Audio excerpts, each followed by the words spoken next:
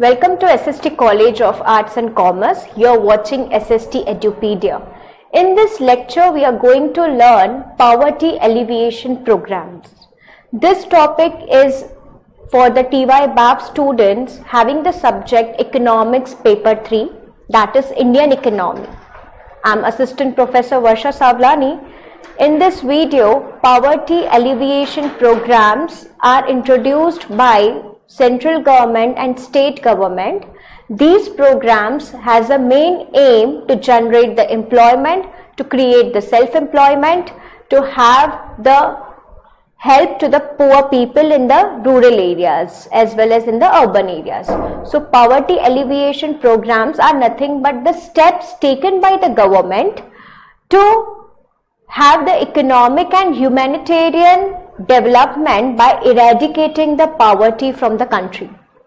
Now this anti-poverty programs are mainly run by the central government. As I said, the alleviation programs are helps to the generating the employment for the rural work, for self-employment, for providing food subsidy, for providing Awas Yojana that is housing facilities. These various benefits or we can say under various different schemes, the government is helping the poor people. The first scheme, initial six schemes we will do of employment generation. The first scheme is Mahatma Gandhi National Rural Employment Guaranteed Scheme. Now this scheme was introduced on September 2005. Under this scheme, the guarantee was given of 100 days employment. State-wise, the wage rate is differ.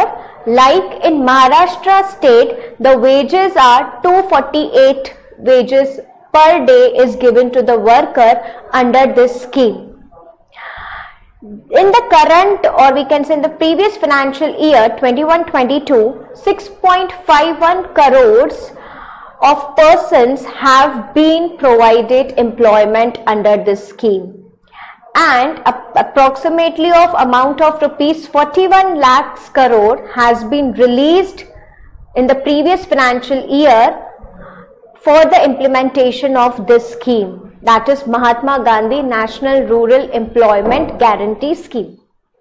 The next scheme is National Rural Livelihood Mission NRLM. Earlier it was Swarna Jayanti Gram Swarozgar Yojana and now it is called it as Ajivika. The very beginning Swarna Jayanti Gram Swarozgar Yojana was introduced on 1st April 1999 with the aim is to enable the poor households to access a gainful self-employment and a skilled wages employment opportunities. The later on it has been restructured as NRLM that is National Rural Livelihood Mission. Currently since we can say since 2011 currently it is called it as Ajivika. Under this scheme the cost is in the sharing ratio of 75 is to 25. That is 75% is sponsored by the central government and rest 25% is sponsored by the state government. The third policy is Sampurna Gramin Rozgar Yojana. Again, Rozgar means creating the employment. This scheme was introduced by the government on September in September 2001. The main aim of introducing this scheme is additional wages employment. Additional wages employment along with the food security, creation of durable community as well as the social and economic asset or infrastructure development in the rural areas. The cost of the scheme is bared in the ratio of 75 to 25 means 75% by the central and 25% by the state now it is a part of National Rural Employment Guarantee Scheme. This scheme is a part of National Rural Employment Guarantee Scheme. Next scheme is Rural Employment Generation Program. Now this scheme was introduced on 1st April 1995 as the Khadi Village, Khadi and Village Industries Commission. The main objective of this scheme is self-employment opportunities in small towns and villages. The scheme generates job opportunities for around 2 million job seekers under Khadi and village industries in the rural areas of our country. Next is Prime Minister Rozgar Yojana. It was started in 1993. The main purpose is to provide employment to the educated unemployed youth by setting the micro enterprises by the educated unemployed poor. The main aim is self-employment ventures for industries, services and businesses. The next scheme is Swarna Jayanti Shahari Rozgar Yojana that is SJSRY.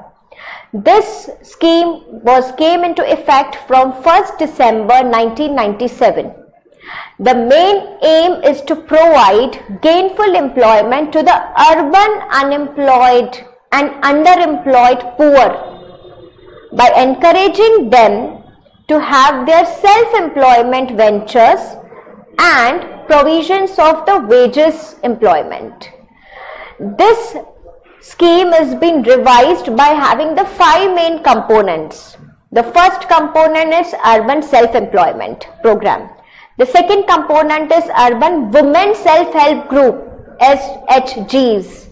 The third is step up that is skill training for employment promotions amongst the urban poor. And the next scheme is Urban Wages Employment Program and the fifth component is Urban Community Development Program. These are the five components has been revised under the Swarna Jayanti Shahari Rozgar Yojana.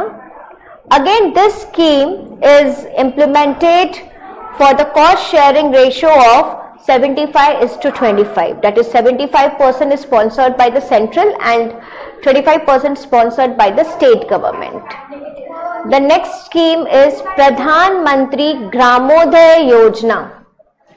Under this scheme, the objective is to achieve sustainable human development at the village level. And this scheme was came into effect from 2000-2001 in the states as well as in the union territories. Initially, it was focused in the five critical areas that is health, education, rural sector, rural drinking water and nutrition. Now it has also been added as a rural electrification. The additional component under this scheme is rural electrification. Okay. Which scheme? Pradhan Mantri Gramodaya Yojana. The next scheme is Pradhan Mantri Gram Sadak Yojana. This yojana was launched on 25th December 2000. The main objective is road connectivity to the unconnected villages of India. Under this scheme, it is aims at better connectivity and transportation in the villages which are deserving, which deserve the development, which grows so many crops. So for that purpose, there should be a proper connectivity and transportation services. Around 1 lakh 70,000 roads of 7 lakh 12,000 approximately kilometers is been connected under this scheme and approximately 7,000 bridges have been constructed under the Pradhan Mantri Gram Sadak Yojana which came into effect from 2000. The next scheme is Indira Awas Yojana. This scheme was launched from 1999-2000. The aim is to provide dwelling units free of cost to the poor families of scheduled caste and scheduled tribes, free-based laborers, free-bonded laborers and even to the non-scheduled caste and non-scheduled tribes, those who are under the below poverty line. Approximately 16,000 crores is being allocated under the construction of 25 under the construction of various dwelling houses and 25 lakhs houses has been constructed. Next scheme is Valmiki Ambedkar Awas Yojana. This scheme was launched by the Prime Ministers on 2nd December 2001. The main aim is to improve the condition of the urban slum dwell houses by improving the facilities like construction, upgradation of these dwelling houses. So far 590 crores has been allocated and approximately 2 lakh 13,000 dwelling units as well as other things has been constructed in this scheme. The cost has been shared in the ratio of 50-50 that is 50% is sponsored by the central government rest 50 is state government. The next scheme is related providing food subsidy under the scheme Annapurna. This scheme was introduced on 1st April 2000. The main aim is to provide food security especially to the senior citizens who are eligible and they are uncovered under the National Old Age Pension Scheme, providing food grains at a very reasonable or subsidized rate to the senior citizens. And it is 100% sponsored by the central government. The next scheme is Antyodaya Anna Yojana. This scheme again was introduced by the Prime Minister on 25th December 2000 the aim is to provide highly subsidized food, especially the wheat, rice that is 2 rupees per kg and 3 rupees per kg respectively to the poor families, those who are under PDS that is public distribution system. Initially 25 kilograms or we can say kgs food grain was made available to each families. Now it has been increased to 35 kgs per family. This Antyodaya Anna Yojana was expanded to cover 2.5 crores poorest of the poor families. The next scheme is National Food for Works Program.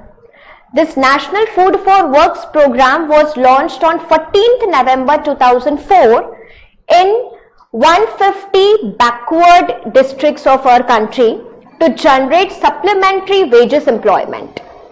This program is open to all the Indian poors who are ready to do manual unskilled labor work.